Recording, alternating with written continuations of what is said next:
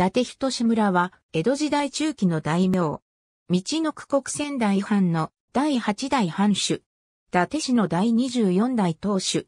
家には14位下、陸奥守、左近衛県少将。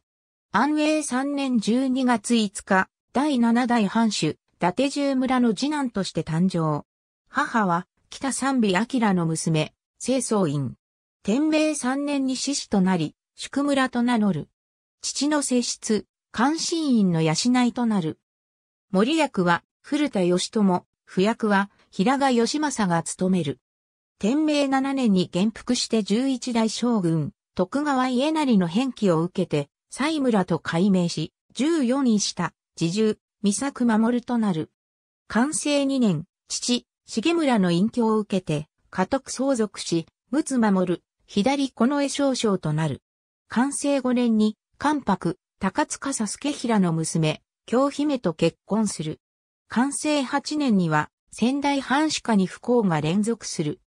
同年3月2日に、正室の聖子を母として、長男、周隆氏が出生したが、産後の日立ちが悪く、同年4月16日に、聖子が死去する。同年4月21日に、江戸で父が死去する。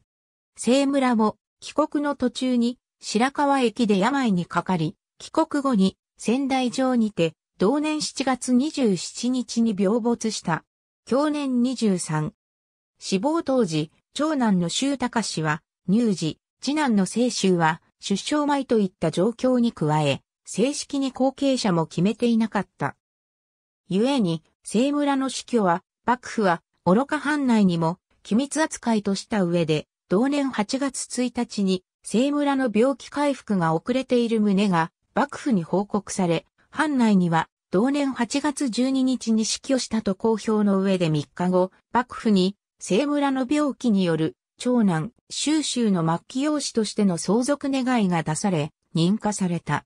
法送り名は、永慶院伝、桂三段栄大古寺。武芸よりも、私文を好む、教養人であった。完成8年、岩松久志隆が、深山幽谷の中に渦漏れている桜波の湯を開き、世の多くの人々を助けたいと願い出てきたため、それを許可したとの逸話がある。西村時代在任期間が1790年から1796年と大変短いため、歴代藩主に比べると少ない。ありがとうございます。